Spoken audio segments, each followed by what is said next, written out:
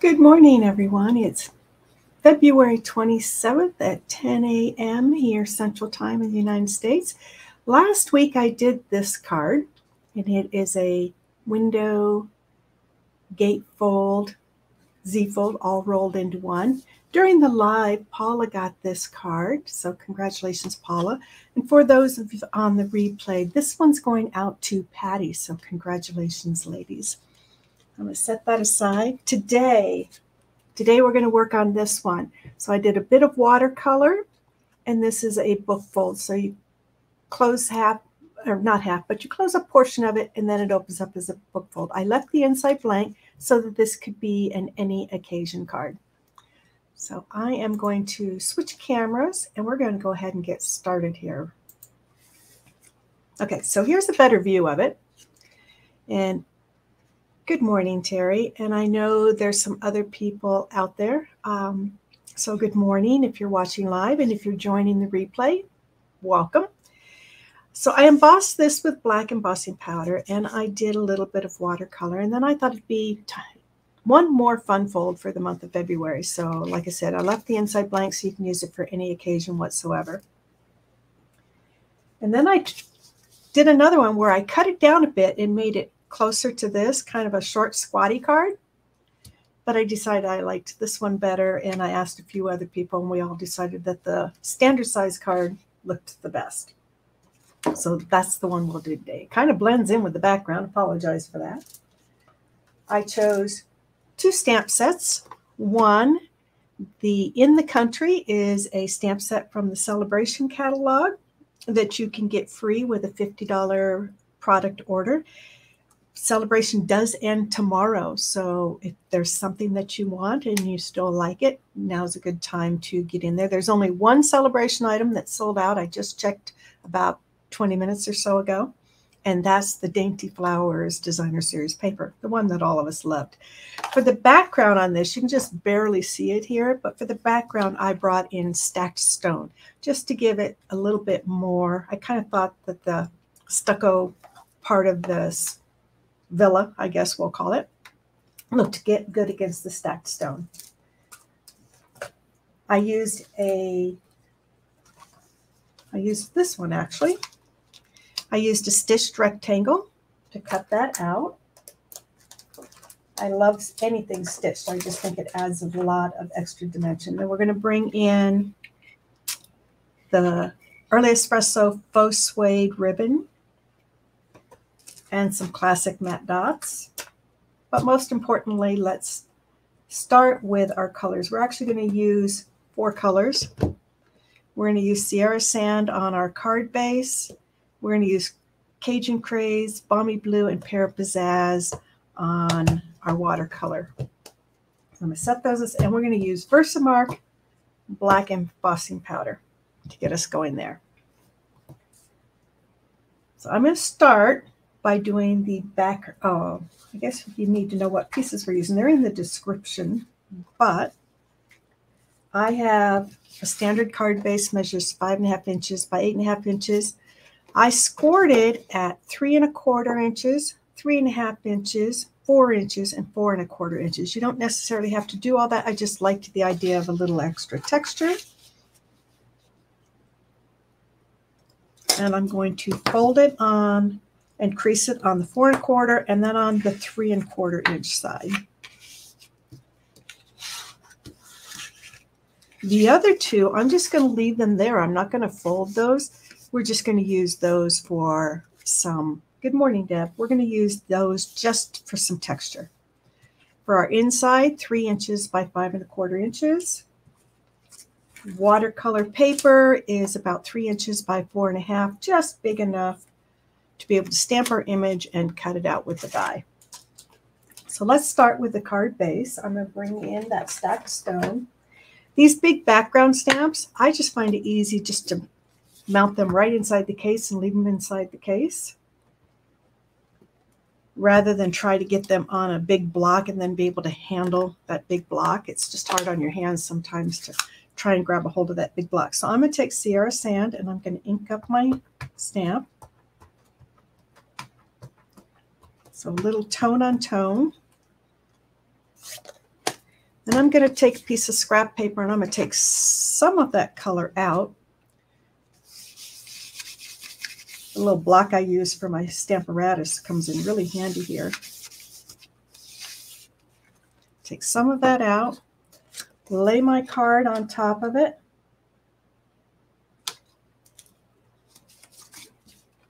I'm just going to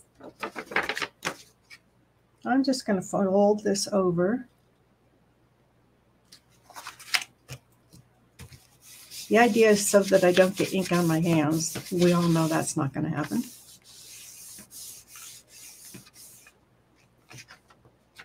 We know I'm going to get ink on my hands. And then when we now have a little bit of texture on the back of the card. Good morning, Harriet. Good morning, Irene. And if you're joining us, us on replay, welcome as well. So I'm going to come in with my watercolor paper. And I just have my paper funnel that I use for my embossing powder. I have a little embossing buddy. It's not in our current annual catalog. It was in the holiday catalog. And I have heard rumors it'll be in the new annual catalog. And it's just, I think it's cornstarch in there, but it's just something to take the static off of your cardstock so that your embossing powder will only stick to where the ink is. I'm going to ink up our little villa in Versamark, a watercolor, a watermark type of ink. It dries rather slowly, which is a good thing for this process.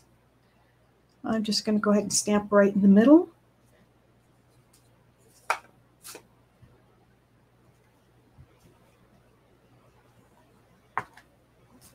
Add some black embossing powder.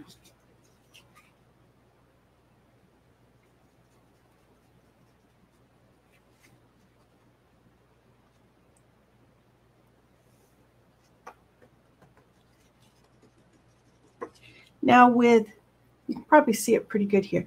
Watercolor paper, even though I used that embossing buddy on it, really likes to cling to the embossing powders.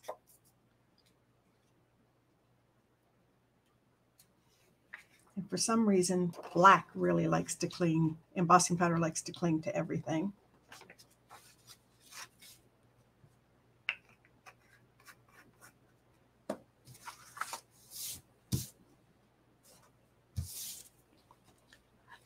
And then I'm going to do a quick look-see here. I am looking for my little paintbrush that I use to get rid of spray embossing powder, and I don't see it at the moment. But it looks like I snapped quite a bit of it off, so I don't think we have too much excess.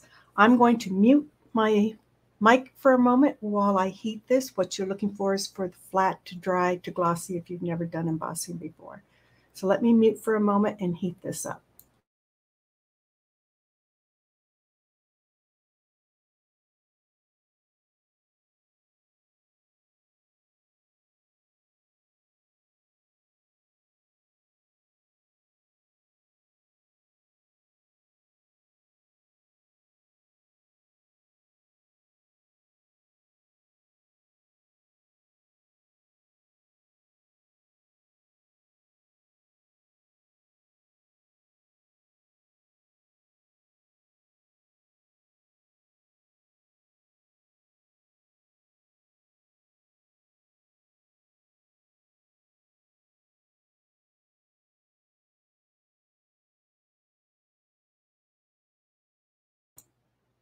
Okay, now that we have our embossing done, we can start doing our watercolor. Now you can watercolor in a lot of different ways.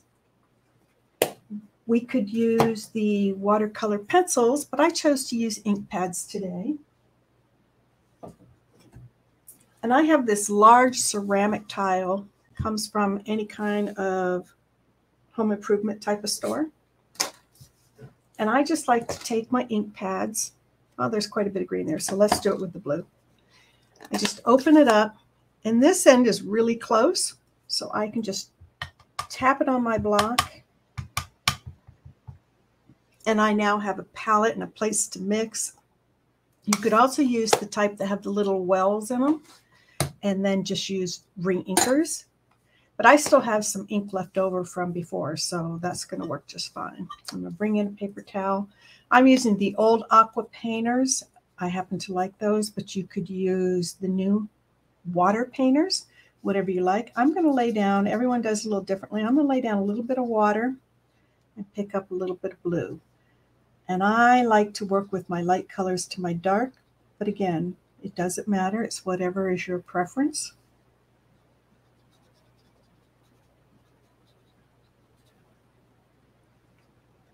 Blue does, there we go. There's some blue. It was taking a bit there to show up.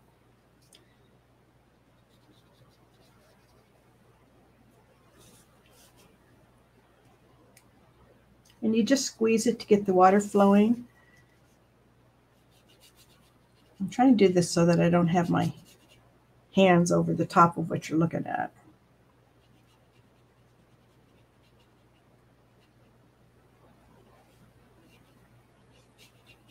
And I'm just picking up some ink and letting the water kind of let it flow.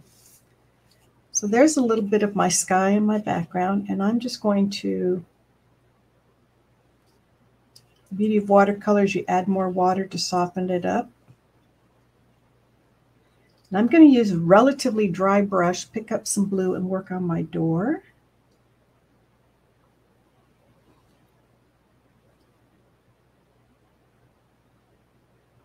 Because I want my door to be kind of a darker blue.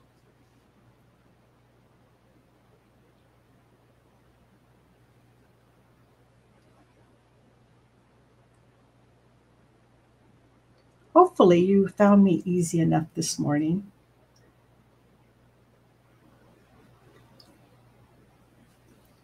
And there's these little bitty pots here. We're going to go ahead and make those blue as well, but you could make them any color you like.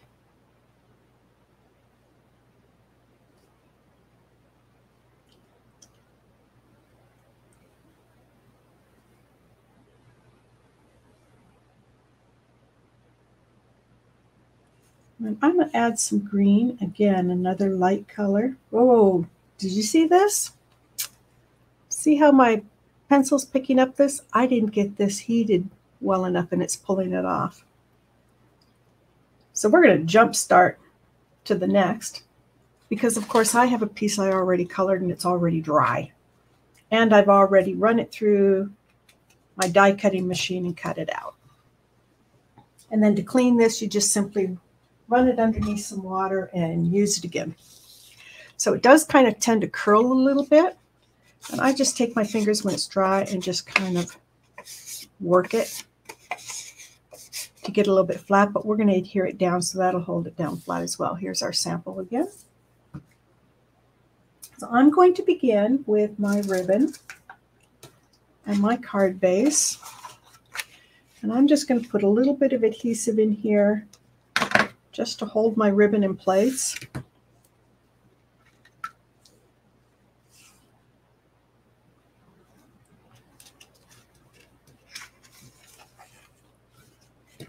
And I'm just going to tie a knot. You could tie a bow if you want, depends on what your preference is. I'm just simply going to tie a bow. I'm in a knot.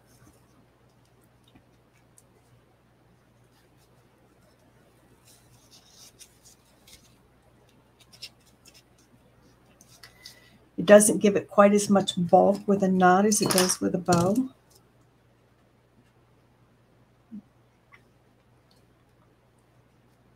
And I'll just trim that off.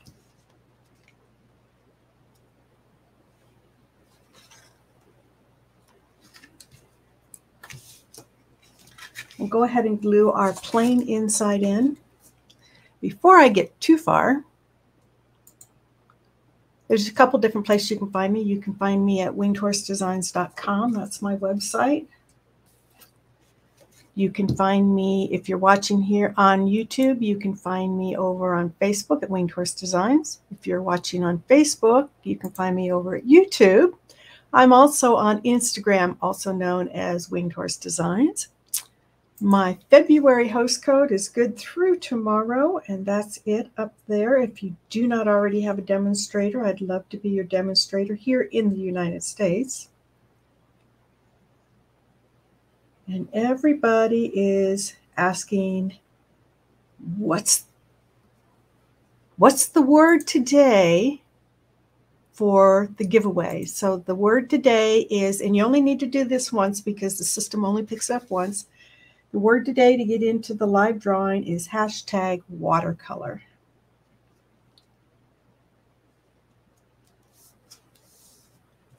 And if you're joining us on replay, welcome. I do go live every Monday at 10 a.m. Central Time in the United States. I'm bringing in some tearing tape just so that it, with that ribbon there, that little bit of extra bulk there, this will help hold this book buying down flat.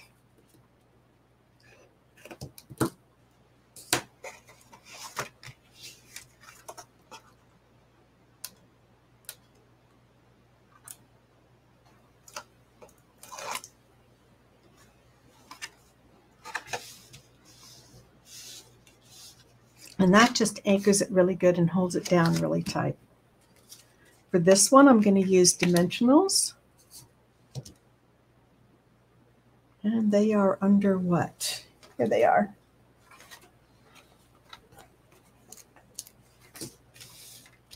So I'm going to put one in each corner and then probably one on each side. Because this is watercolor and it wants to curl a little bit, I'm going to use some a little more dimensionals just to help hold it down flat.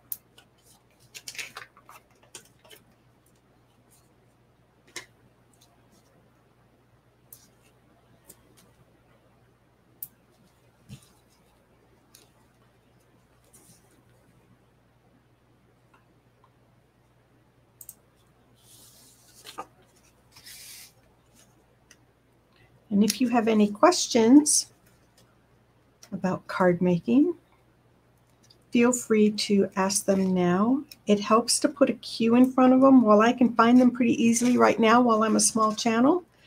If I ever do get become a large channel, it would make it easier for me to find those questions if there's a Q in front of the question. And I'm just going to center this on this piece here. Bring in those classic matte dots.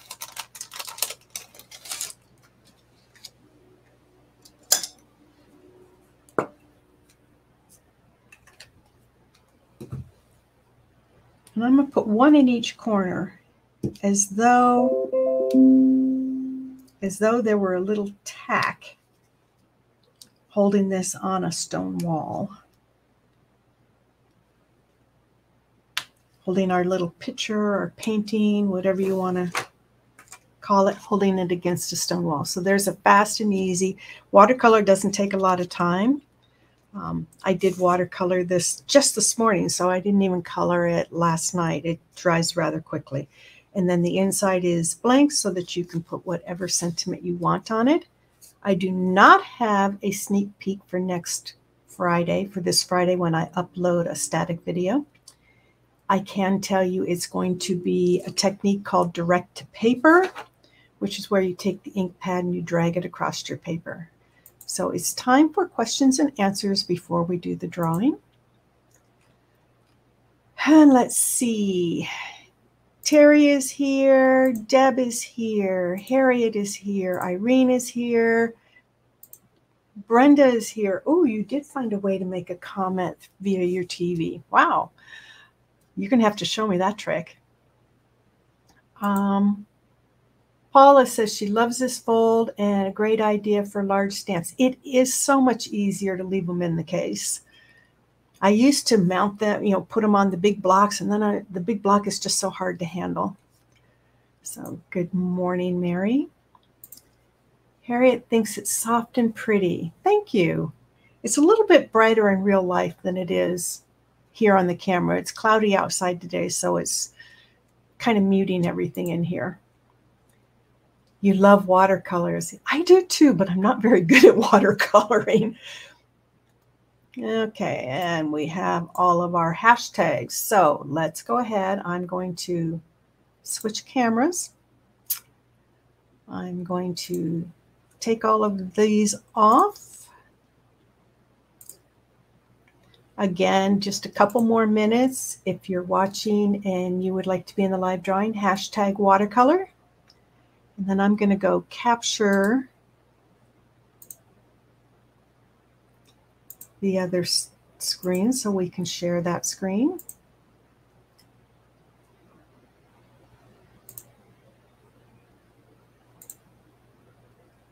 Okay, we're going to give it just a couple seconds here.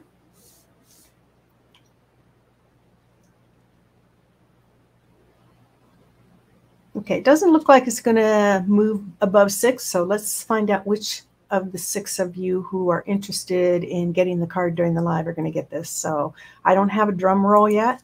I can bang my fingers.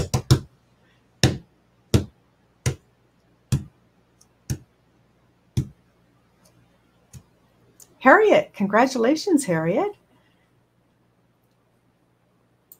So let's see. I want to stop sharing. There we go. So I hope you enjoyed this fun card. Like I said, uh, I don't have a sneak peek for Friday's static upload video, but it will be a old an oldie but goodie technique called direct to paper inking. So I think you'll like it. And next Monday, I will be back live right here, same place, same time, every Monday. And for, I don't know if you noticed, I never announced in February, we did fun folds and Sale-a-bration items. In March, I'm going to do techniques. So look for, throughout the course of the month, five different techniques. And I'm probably going to pick some older techniques that we used to do years ago and bring them back. Kind of oldies but goodies. So have a wonderful week, everyone. And I will see you next Monday at 10 a.m. Happy trails.